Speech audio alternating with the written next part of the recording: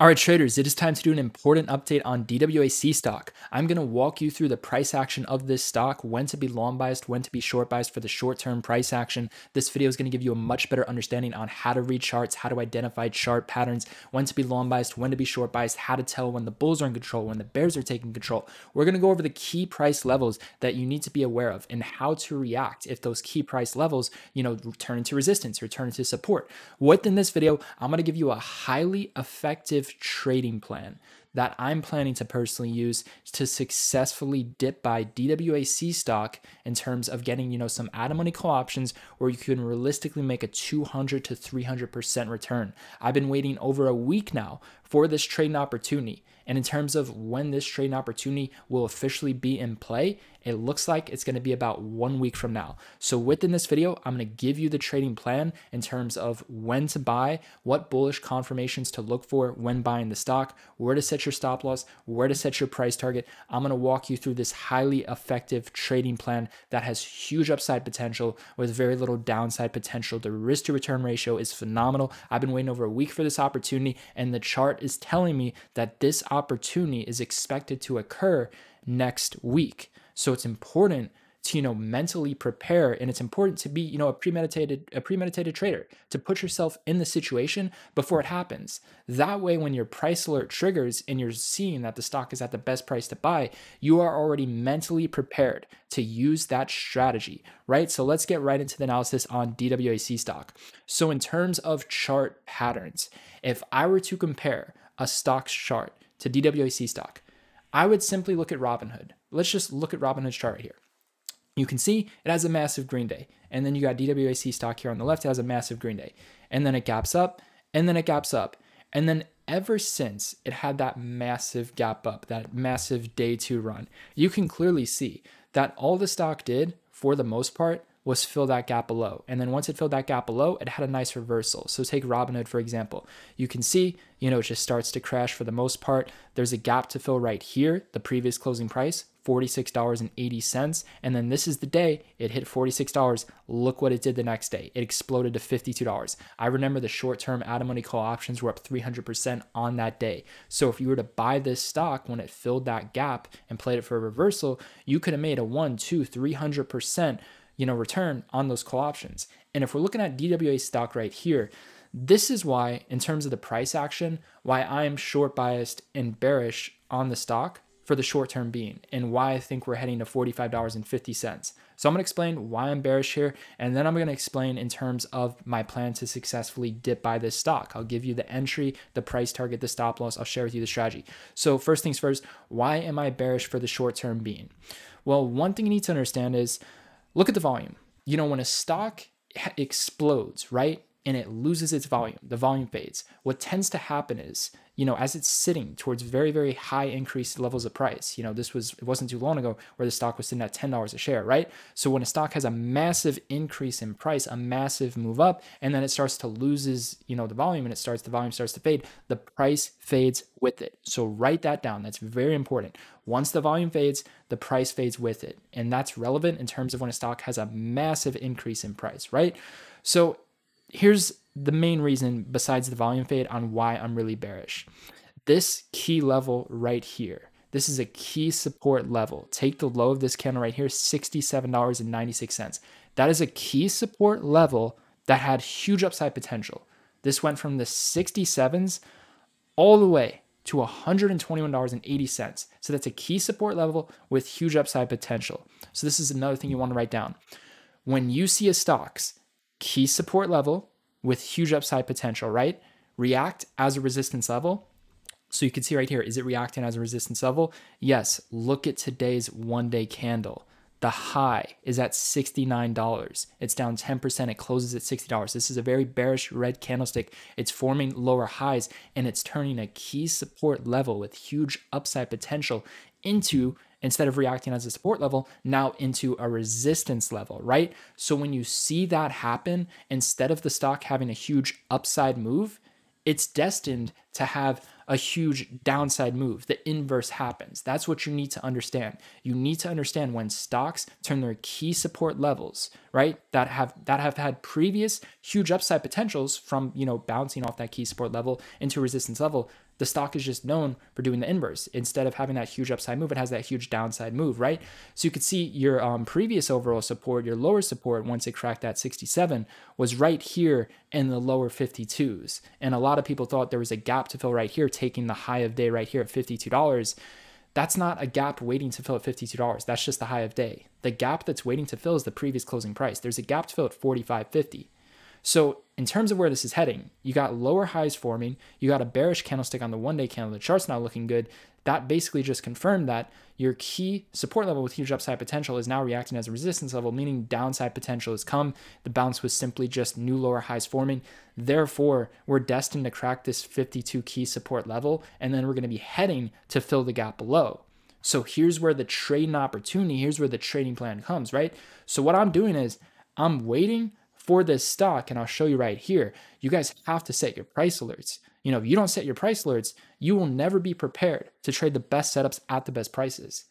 90% of my trades come from these price alerts. You know, I'm able to literally, I, I look at the stock charts, identify, okay, this is the best price to buy. This is the strategy, the gap close reversal, right? I set the price alert. Once that price alert triggers, boom, I am mentally prepared to trade the best setup at the best price. I'm looking at the stock when it's at the best price. I'm not forcing a trade. I'm not getting a bad entry. I am already prepared. The only thing left from there is to wait for a bullish confirmation because I'm not purely trading just based off price.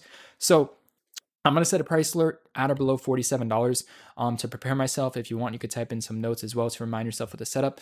Um, but for me, I just visually look at the chart once the alert triggers and I don't set it exactly at the price. So the exact price is at 45.50.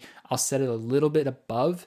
That way I'm a little bit prepared, you know, and, and can retrace back into the chart and look into the strategy once again, right? So my plan is to dip by this stock once it hits 45.50 so what I'm looking for is very, very simple. I'm looking for a bullish reaction. So you can add on and stack to whatever you want to use in terms of how you decide to buy a stock, whether that's an increase in volume, whether that's a chart indicator like the VWAP, the simple moving average, the EMA, whatever it is that you use, feel free to do that.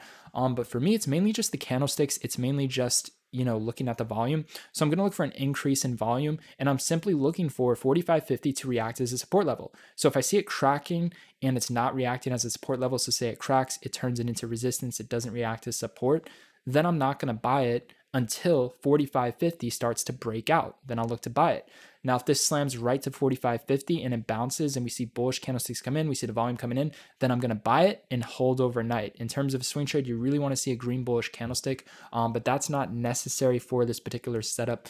So basically, I'm just looking for bullish candlesticks to come in. I'm looking for the volumes to come in right around 45.50. Once we see that it's solid support and a nice foundation, I am planning to buy the stock, um, but it looks like I'm going to be buying it day one. Once it hits 45.50, that's most likely what I'm going to be doing.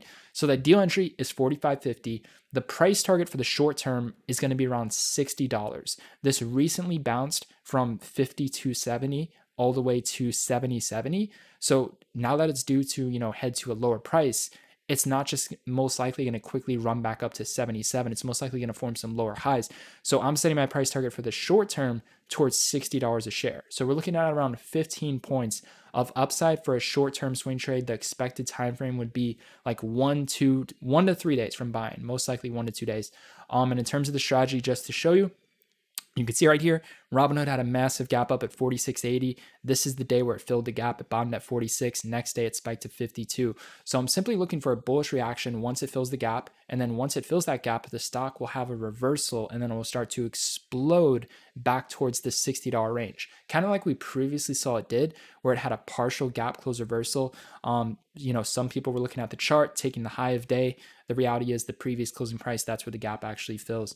Um, but the high of day right here was at $52. That was a key level. It bounced off the key level, then it ran back up to 77. So basically, I'm looking for the same thing to occur at a lower price at 45.50 and I'm just looking for a lower price target since at a lower price. So I'm looking at around $60 a share. So in terms of the option chain, when am I expecting this stock to, you know, hit 45.50? Due to the volume fade, it's most likely not going to crash as quickly. It's still pretty volatile though. Um, I'm thinking next week. You know, it could happen this week, but I'm thinking sometime next week we go to 45.50 due to, you know, previous resistance acted as due to the previous support, huge upside potential level reacted as resistance in the volume fade, right? So in terms of the option chain, the option chain, I'm going to be going with the short term call options, right? So if it's this week, I'll go with um, November 5th. If it's next week, I'll go with November 12th. It's as simple as that.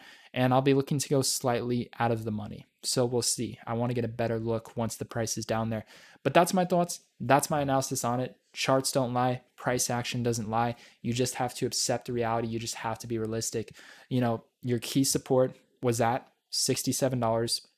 It cracked, it bombed at 52. All it's been trying to do is fill that gap below ever since it exploded up from this day. Um, and then it bounces back, and people are like, oh my gosh, it's bullish, it's bouncing back. And I'm like, yeah, it's bouncing back because it just got demolished. You know, it had an overreaction, so it's due for some short term correction. But if you look at the chart, you have this huge key upside support potential level at 67, now reacted as resistance. So it's just forming lower highs to simply go back to the support level, and then it's most likely going to crack that support level due to the lower highs, due to the volume fade, and due to the gap waiting to fill below. It's just so obvious. You got to pay attention to these gap fill strategies. This channel is really going to help you master um, gap trading. You know, it has huge potential, guys. These are key trend reversal strategies where you're literally getting in at the best prices. Um, so yeah, and then you see sometimes they have partial gap close reversals. There was a the high of day was 52 it partially filled the gap and then it had its reversal back to 77. So that same opportunity is going to be coming at a lower price. Be prepared, be ready, guys. Um, to you know, buy shares, buy the call options.